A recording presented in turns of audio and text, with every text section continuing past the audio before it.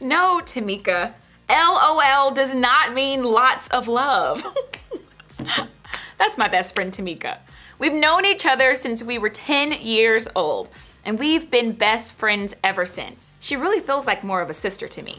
How many of you have a best friend who knows all about your secrets? Somebody you spend all your free time with. Somebody who lets you play all their video games first or borrow your clothes before they even wear them. Somebody you can call when you're in trouble or feeling down. Somebody who sees your family fight. Somebody who helps themselves to the food in your house. Somebody who's on your family text thread. A friend like that?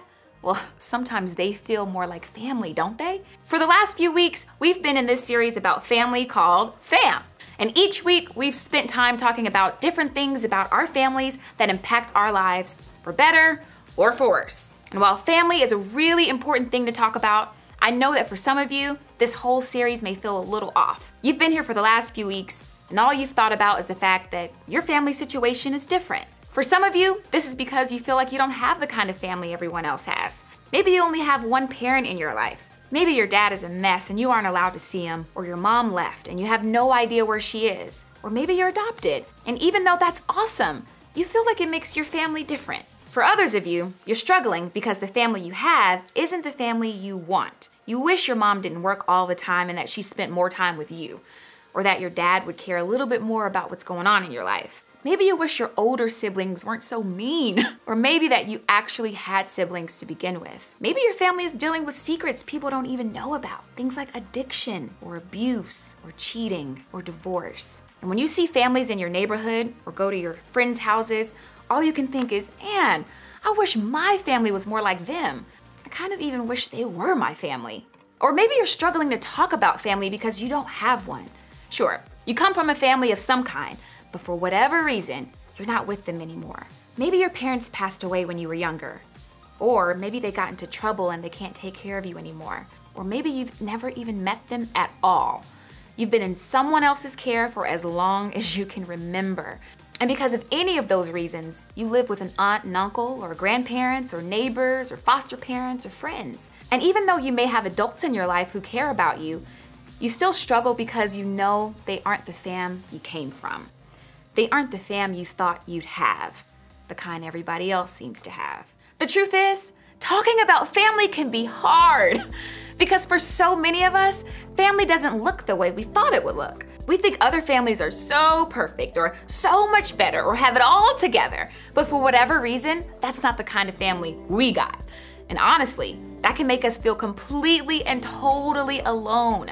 If you're feeling that way about your family situation right now, let me just stop and encourage you with this. You're not the only one. In fact, that's a feeling a lot of us felt about our families, not just today, but even thousands of years ago. In the Bible, there's actually a story about two guys who were dealing with complicated family situations that I think can help us here. These guys were named David and Jonathan. Neither of them had typical home lives. David didn't live with his family. He left them when he was called to work for Saul, the king of Israel. And who was Saul? Well, he was actually Jonathan's dad. As they lived and worked together, Jonathan and David became close friends. Now, at first, this was no big deal because Saul, Jonathan's dad, loved David. But over time, things changed.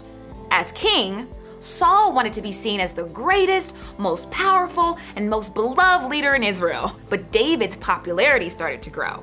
And to make matters worse, God actually appointed David to be the next king, a plan that Saul didn't love. As a result, Saul actually began to hate David, and I mean really hate him. So much so that Saul plotted to kill David. To save himself, David had to flee and go into hiding, narrowly avoiding being murdered by Saul a few times. See what I mean? Both Jonathan and David were in family situations they didn't necessarily want or expect. David lived apart from his family, and Jonathan was dealing with a dad who was actually trying to murder his best friend. That might be enough to leave both guys feeling completely and totally alone. But you know what? Because they had each other, they didn't feel alone. These two guys formed a friendship that was more like a brotherhood. They were the kind of friends who helped each other out, stuck with each other no matter what, and they protected each other. The kind of friends who became like fam, you know? Their friendship is described like this. And Jonathan made a solemn pact with David because he loved him as he loved himself.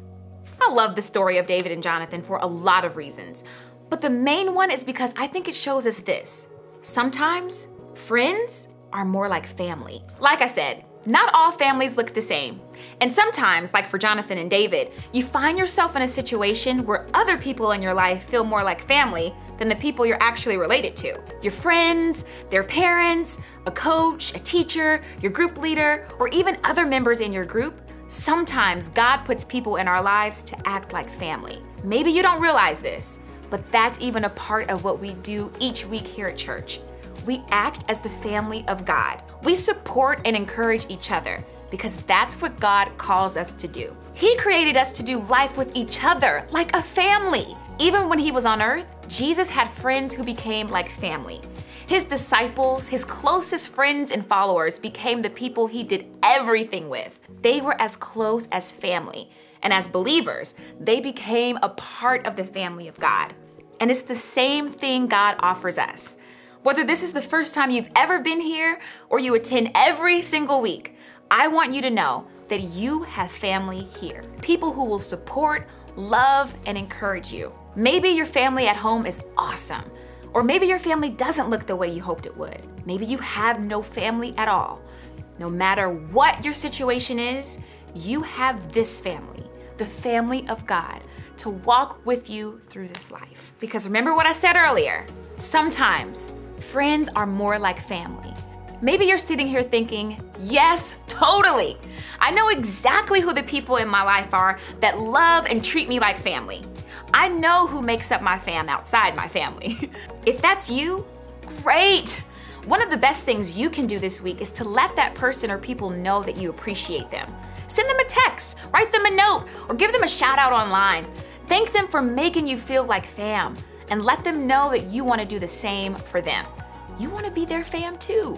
Or maybe you're sitting here thinking, that all sounds great, and I wish I had those people in my life, but honestly, I don't feel like I know who they are or where I'd find them.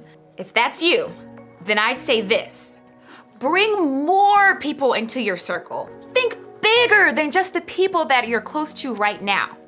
Think about who else is speaking into your life, someone you can trust.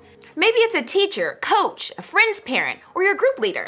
Maybe there are a few people in your group you know you can lean on or trust to be your fam. Identify at least one person you know could be more like family and include them in more parts of your life. Spend time with them. Ask them to hang out. Open up to them about what's going on in your life. Psst.